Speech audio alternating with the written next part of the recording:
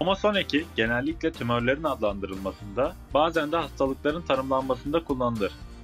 Örnek olarak kötü huylu kanser anlamına gelen karsinom, bez epitelinden gelişen iyi huylu tümör anlamına gelen adenom ve belli belirtilerin bir arada ortaya çıktığı hastalık durumu anlamına gelen sendrom kelimeleri verilebilir.